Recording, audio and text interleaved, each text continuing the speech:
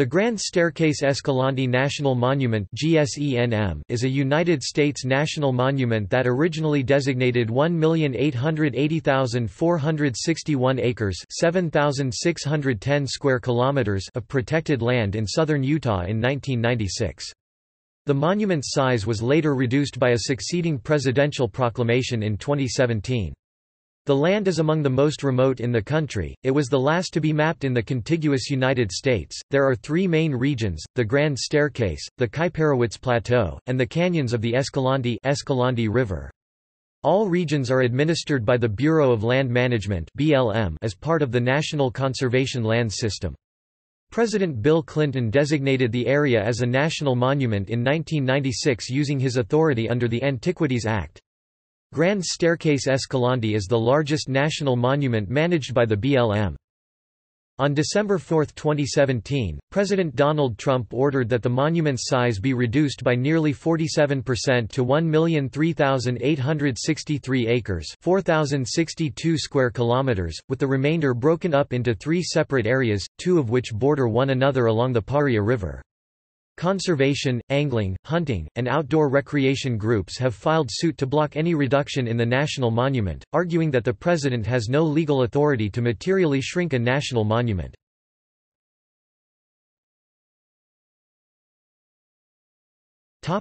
Management The monument is managed by the Bureau of Land Management rather than the National Park Service. This was the first U.S. national monument managed by the BLM.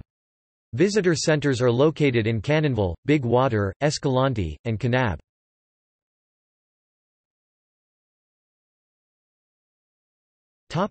Geography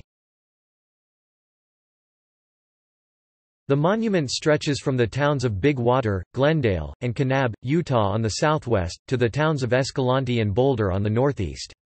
Originally encompassing 1,880,461 acres 7,610 square kilometers, the monument was slightly larger in area than the state of Delaware.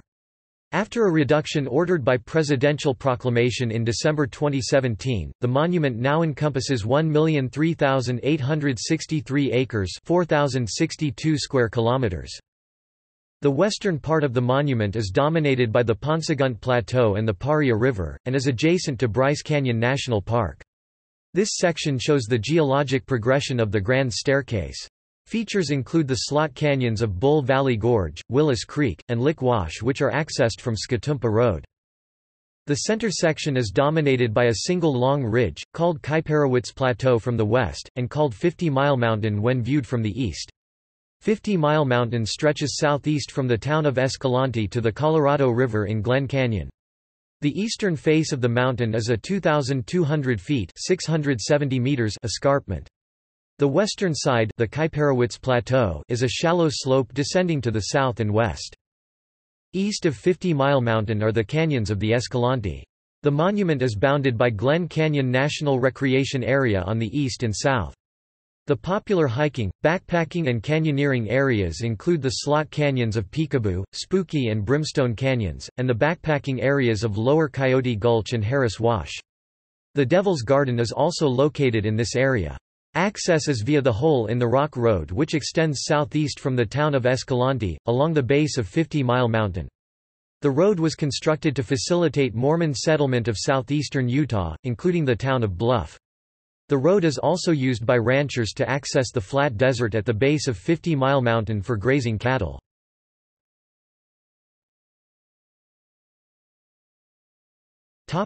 Paleontology Since 2000, numerous dinosaur fossils over 75 million years old have been found at Grand Staircase Escalante. In 2002, a volunteer at the monument discovered a 75 million-year-old dinosaur near the Arizona border. On October 3, 2007, the dinosaur's name, Gryposaurus monumentensis hook-beaked lizard from the monument was announced in the Zoological Journal of the Linnean Society. G. monumentensis was at least 30 feet (9.1 meters) long and 10 feet (3.0 meters) tall, and has a powerful jaw with more than 800 teeth. Many of the specimens from the Kaiparowits Formation are reposited at the Natural History Museum of Utah in Salt Lake City. Two ceratopsid horned dinosaurs, also discovered at the monument, were introduced by the Utah Geological Survey in 2007. They were uncovered in the Wahweap Formation, which is just below the Kaiparowits Formation where the duckbill was extracted. They lived about 80 million or 81 million years ago. The two fossils are called the Last Chance skull and the Nipple Butte skull. They were found in 2002 and 2001, respectively. Both were later identified as belonging to Diabloceratops. In 2013, the discovery of a new species, Lythronax argestes, was announced. It is a tyrannosaur that is approximately 13 million years older than Tyrannosaurus, named for its great resemblance to its descendant. The specimen can be seen at the Natural History Museum of Utah.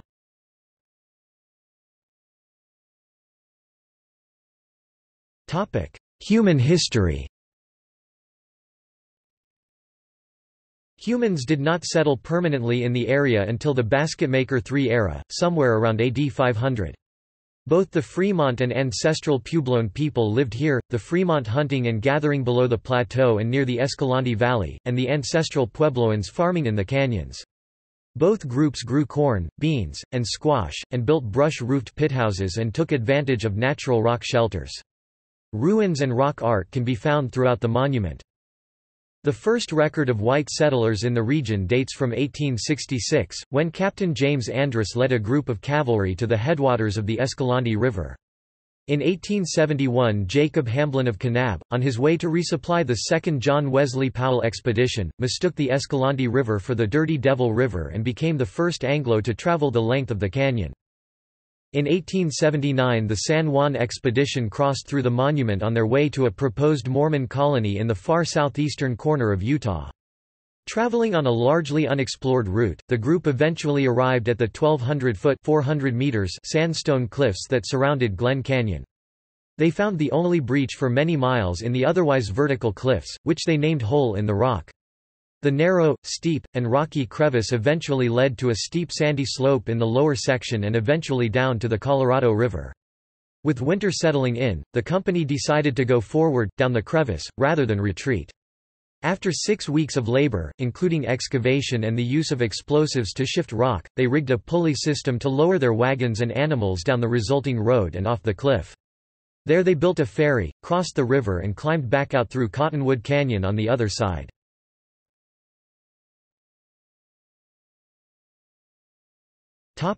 Controversy The National Monument was declared on September 18, 1996 at the height of the 1996 presidential election campaign by President Bill Clinton, and was controversial from the moment of creation. The declaration ceremony was held at Grand Canyon National Park in Arizona, rather than in Utah. Local officials such as Democratic U.S. Representative Bill Orton from Utah objected to the designation of the national monument, questioning whether the Antiquities Act allowed such vast amounts of land to be designated. However, United States Supreme Court decisions have long established the President's discretion to protect land under the Antiquities Act, and several lawsuits filed in an effort to overturn the designation were dismissed by federal courts. Monument designation also nixed the Andalex coal mine that was proposed for a remote location on the Kaiparowits Plateau. Wilderness designation for the lands in the monument had long been sought by environmental groups, however, designation of the monument is not the same as wilderness designation, as activities such as motorized vehicle and mountain bike use are allowed. There are contentious issues peculiar to the state of Utah. Certain plots of land were assigned when Utah became a state in 1896 as school and institutional trust lands SITLA, a Utah state agency, to be managed to produce funds for the state school system. These lands included scattered plots in the monument that could no longer be developed.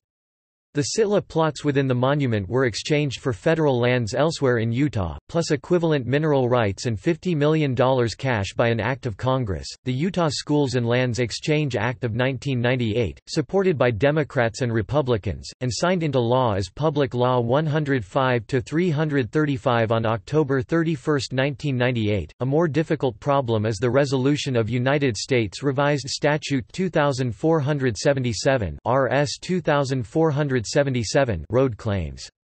RS 2477 Section 8 of the 1866 Mining Act states, "...the right-of-way for the construction of highways over public lands, not reserved for public uses, is hereby granted." The statute was repealed by the Federal Land Policy and Management Act of 1976, but the repeal was subject to valid existing rights. A process for resolving disputed claims has not been established, and in 1996, the 104th United States Congress passed a law which prohibited the RS 2477 proposed resolution regulations written by the Clinton administration from taking effect without congressional approval. The right to maintain and improve the many unpaved roads in the national monument is disputed, with county officials placing county road signs on the roads they claim and occasionally applying bulldozers to grade claimed roads, while the BLM tries to exert control over the same roads. Litigation between the state and federal government over RS 2477 and road maintenance in the National Monument is an ongoing issue.